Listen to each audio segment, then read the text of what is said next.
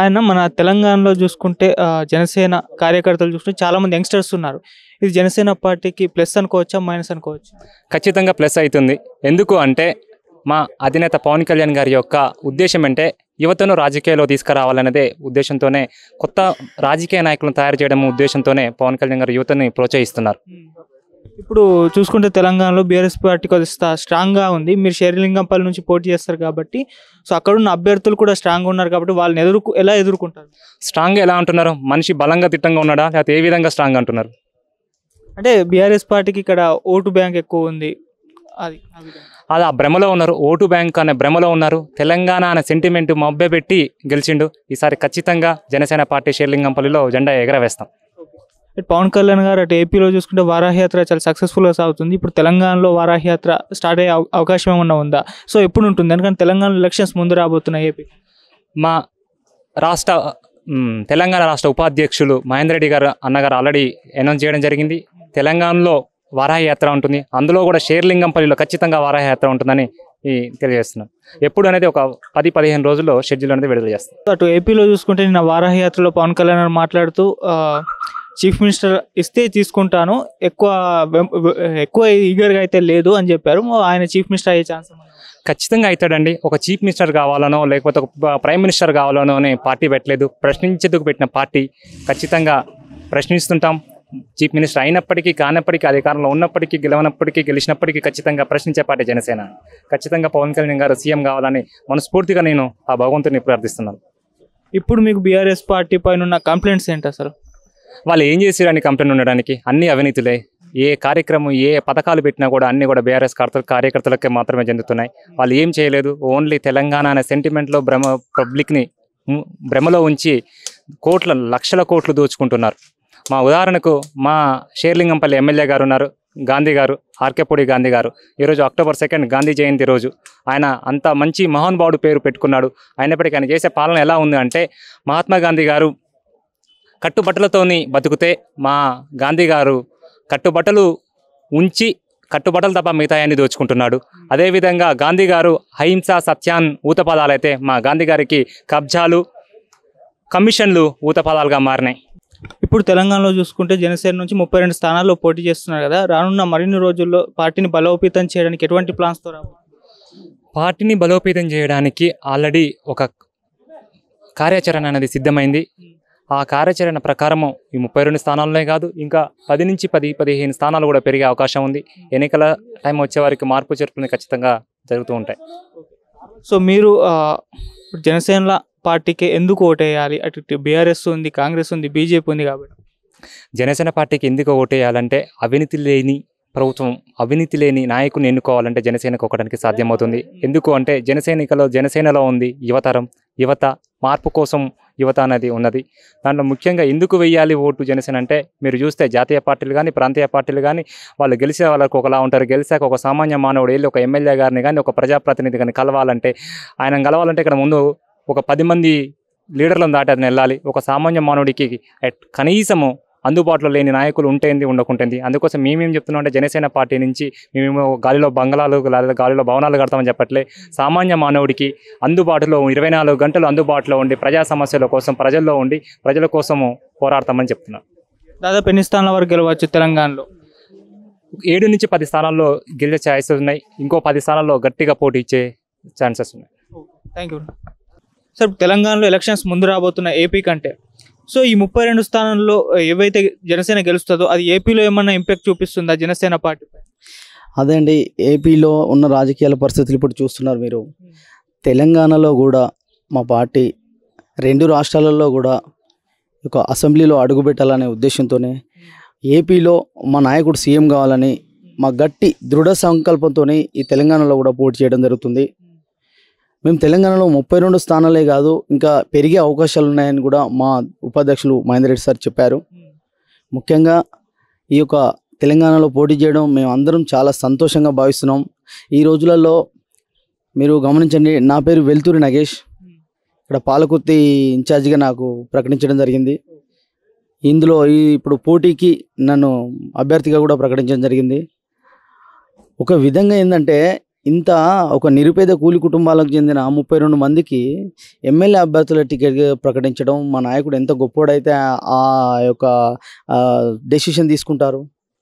గమనించండి ఈ రోజున్న రాజకీయాలలో వంద కోట్లు రెండు వందల కోట్లు ఉంటేనే ఒక నాయకుడు. మినిమం. అంటే ఇన్ఛార్జే ప్రకటిస్తున్నారు. అంటే టికెట్ కూడా ప్రకటిస్తలే. వంద రెండు వందల కోట్లు ఉంటే అతను నాయకుడు ఎమ్మెల్యే అభ్యర్థి పోటీ చేస్తాడు.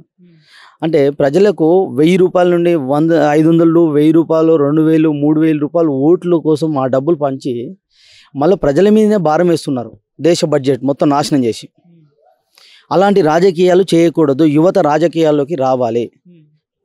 రాజకీయంలో మార్పు రావాలి యువతలో మార్పు రావాలి ఎంప్లాయ్మెంట్ రావాలి. ప్రజలు అనేది ఒక తరం మొత్తం ఇబ్బంది పడ్డ తర్వాత వాళ్ళ యొక్క జీవితాలను నాశనం చేసిన తర్వాత మిగతా తరాలు ఎట్లా బతుకుతాయి? మా నాయకుని ఉద్దేశం ఏంటంటే ఏ తరంలోనైనా సురక్షితంగా జనాలు జీవించాలి.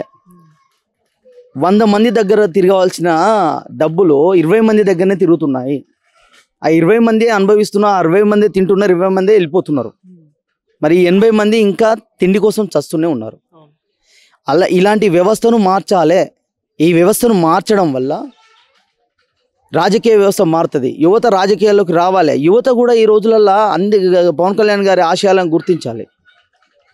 ఎందుకంటే వెయ్యి రూపాయలు తీసుకొని ఆ ఓటేయడం రెండు వేల రూపాయలు తీసుకొని ఓటేయడం ఇది చాలా దారుణమైన సిచ్యువేషన్. కాబట్టి మనం నేను ఎంఎస్సి బీఈడి చదివిన నేను ఒక కూలి కుటుంబానికి చెందిన వాడిని నన్ను పవన్ కళ్యాణ్ గారు పిలిచి నాకు ఎంత పెద్ద అవకాశం ఇచ్చారు. నాకు ఇది ఇది సాధించినట్టు కాదా? కళ్యాణ్ గారు సాధించినట్టు కదా? మా అధ్యక్షులు ఎంత గొప్పోడైతే ఈ యొక్క అవకాశాన్ని ఇస్తారు? ఈ ముప్పై రెండు నీ కదా ముప్పై రెండు మంది కూడా నాలాంటి కూలి కుటుంబాలకు చెందిన వాళ్ళే. నా జన్ నాది నా నియోజకవర్గం జనరల్ నియోజకవర్గం. నన్ను జనరల్ నియోజకవర్గం ఒక ఎస్సీ అభ్యర్థిని ఆ జనరల్లో నాకు అవకాశం ఇచ్చాను ఎంత గొప్పోడు? ఆయన స్ఫూర్తితోనే ఆయన ఆశయాలతోనే నేను ఒక ఫౌండేషన్ స్టార్ట్ చేశాను రెండు వేల పదిహేనులో. ఆ ఫౌండేషన్ యాక్టివిటీస్ చూసి నన్ను చాలా మెచ్చుకున్నారు. చాలా మెచ్చుకొని నాకు చాలా గుర్తించారు. నాకు ఈ అవకాశం ఇచ్చిన విత్ ఇన్ నేను నా ఉద్యోగాన్ని ICMR Indian council of medical రీసెర్చ్లో నేను ఉద్యోగం చేస్తున్నాను. ఆ ఉద్యోగాన్ని రిజైన్ చేసి పవన్ కళ్యాణ్ గారి ఆశయాల కోసం ఈ పార్టీకి పనిచేస్తున్నా ఈ పార్టీలో మోసాలు ఉండవు దగాలు ఉండవు డబ్బులు పంచడం ఉండవు. నిజాయితీగా నాకే నేనే ఎగ్జాంపుల్ దీనికి. సొంతంగా కష్టపడుతున్నా మా నియోజకవర్గం చాలా పెద్ద నియోజకవర్గం. ఆ నియోజకవర్గంలో మా దయాకర్రావు గారు చాలా పెద్ద లీడరు. అతని మీద నాకు అవకాశం ఇచ్చారు. మా జనసేన అక్కడ పోటీ చేస్తుంది మీకు గెలుస్తాం ఓడతాం మార్పు తీసుకోవడం మా లక్ష్యం. ఇప్పుడు మార్పు ఇప్పుడు మేము పోటీ చేయడం వల్ల మార్పు రావచ్చు. ఇప్పుడు ఒక ఐదు వందల మంది మారిండ్రు అనుకో. తర్వాత రా రాను రాను రాను మొత్తం మార్పు అనేది వస్తుంది కదా. విద్య లేదు సరిగా వైద్యం లేదు వ్యవసాయం నాశనం చేస్తున్నారు. ఈ వ్యవస్థలో ఉత్తగా పథకాల రూపంలో పైసలని నాశనం చేస్తున్నారు. ఇలాంటి వ్యవస్థను మార్చాలని దృఢ సంకల్పంతో పవన్ కళ్యాణ్ గారు జనసేన పార్టీని స్థాపించడం జరిగింది. యువతకే అవకాశం ఇవ్వడం జరిగింది. మరియు ఏ పార్టీ వాళ్ళైనా కూడా ఒక టికెట్ ఇవ్వాలంటే ఒక ఇన్ఛార్జి పదవి ఇవ్వాలంటే డబ్బులు కలెక్ట్ చేస్తారు. మరి మా దగ్గర మేము మేము ఇక్కడికి ఆఫీస్కి రావడానికి కూడా డబ్బులు లేని స్థితిలో ఉన్నా కూడా మాకు ఈ అవకాశాన్ని ఇచ్చింది.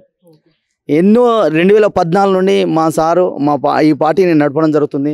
అందులో భాగంగా ఇంత గౌరవప్రదంగా మమ్మల్ని సత్కరించడం ఇన్ఛార్జిగా ప్రకటించడం మళ్ళీ అభ్యర్థుల అభ్యర్థులుగా ప్రకటించడం మా అధ్యక్షుల వారికి మేము రుణం చాలా రుణం తీసుకోవాల్సిన అవసరం ఉంది. ఆయనే ఆయన కుటుంబ సభ్యులు చల్లగా ఉండాలి మార్పు రావాలి. పవన్ కళ్యాణ్ గారి గురించి జనం రాబోయే రోజుల్లో ఒక చెగువీర గురించి ఒక జార్జిరెడ్డి గురించి ఎట్లా చదువుకున్నారో బుక్కులల్లా పవన్ కళ్యాణ్ గారి గురించి చదువుతారు. ఒక అబ్దుల్ కలాం ఆశయాలతోని ఒక అంబేద్కర్ ఆశయాలతోని ఒక సుభాష్ చంద్ర బోస్ ఆశయాలతోని అంత గొప్ప వాళ్ళ ఆశయాలతోని తను జ- జనం కోసం ప్రజల కోసం చెమటొడ్చి మొత్తం బయట తిరుగుతున్నాడు. ఆయన ఏ స్థాయిలో ఉండే వ్యక్తి ఒక రోజుకు రెండు మూడు కోట్లు నాలుగు కోట్లు తీసుకునే పారితోషికం రోజుకు గంటలలోనే ఉన్నది ఆయన యొక్క ఇన్కమ్. అలాంటి గొప్ప అవకాశాన్ని అలాంటి సంపాదించే వనరులన్నీ దగ్గర ఉన్నాయి ఆయన కోసం ప్రపంచం మొత్తం ఆయన కోసం వెయిట్ చేస్తుంది. ధనం కోసం మనుషులు సెర్చ్ చేస్తారు. కానీ ధనం మాత్రం పవన్ కళ్యాణ్ గారి దగ్గరికి వస్తుంది. కానీ ధనం ధనంను దూరం చేసి ఈరోజు తన సొంత డబ్బులతోనే ఈ యొక్క సభ్యతాలు చేయించారు. సభ్యతాలు మన హెల్త్ ఇన్సూరెన్స్ ఉన్నది దానికి. ఐదు లక్షలు ఏమైనా చనిపోతే ఐదు లక్షల రూపాయలు. అకస్మాత్తుగా మన సభ్యులు ఎవరికైనా ఏమైనా అయితే గాయాల పాలు అయితే యాభై వేల రూపాయలు. పాలకుర్తి నియోజకవర్గంలో విత్ ఇన్ షార్ట్ టైంలో వచ్చి ఒక నెల నెల ఫిఫ్టీన్ ఫిఫ్టీన్ డేస్లో రెండు వందల యాభై ఏడు సభ్యతాలు చేస్తే మా అధ్యక్షుల వారు చాలా సంతోషంగా వెరీ గ్రేట్ బ్రదర్ మీరు చాలా మంచిగా చేశారు. పాలకుర్తిలో రెండు వందల యాభై ఏడు సభ్యతాల అని చెప్పి చాలా మెచ్చుకోవడం జరిగింది. బ్రదర్స్ ఎందుకనంటే మార్పు అనేది వస్తుంది. జనసేన అనేది నిలిస్తే రాబోయే రోజులలో జనసేనలో జనసేన ఆశయాలతోనే నడుస్తుంది. చూడండి. మీరు గమనించండి. ఇదే నిదర్శనం. నిరుపేదలకు ఇచ్చిన టికెట్లు ప్రకటించిన పార్టీ జనసేన పార్టీ.